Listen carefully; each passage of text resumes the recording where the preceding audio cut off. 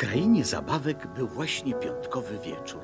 Nodi podliczał swój tygodniowy zarobek i stwierdził, że w tym tygodniu zarobił dużo pieniędzy. Ach, kto zrzucił moją ulubioną doniczkę z parapetu? Och, gdybym to wiedział, powiedziałbym mu do słuchu. Ja też. O, całe szczęście. Bądź tak uprzejmy i oddaj mi moją roślinkę do... Cisza! Cisza, proszę wszystkich o ciszę.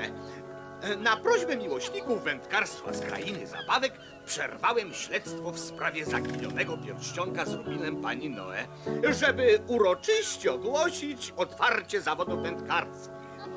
E, Cóż takiego?